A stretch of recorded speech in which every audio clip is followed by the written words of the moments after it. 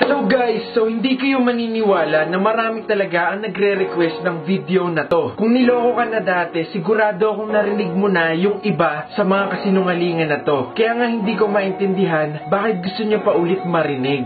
Dahil gusto niya yata yung nasasaktan, edi sige, eto na ang lines ng mga manloloko. Number one, promise, ikaw lang yung kausap ko. Ngayon, kasi busy pa yung isa. Number two, friend ko lang yon. Alam naman nung isa, friend ka lang din. Number three, hindi kita niloloko. Kasi, pinaglalaroan lang kita. Number four, family ko, yung kasama ko. Yung ipapalit ko sa'yo, yung kasama ko.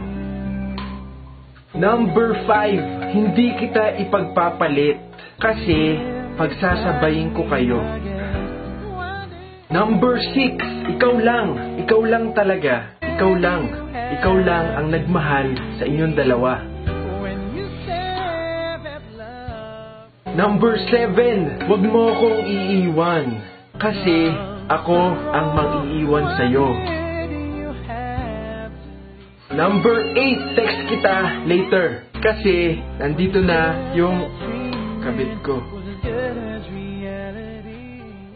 Number 9, mahal kita. Pati siya, pati siya, pati siya, mahal ko kayong lahat. At number 10, ikaw lang ang mahal ko. Pero ang totoo, tatlo kayo.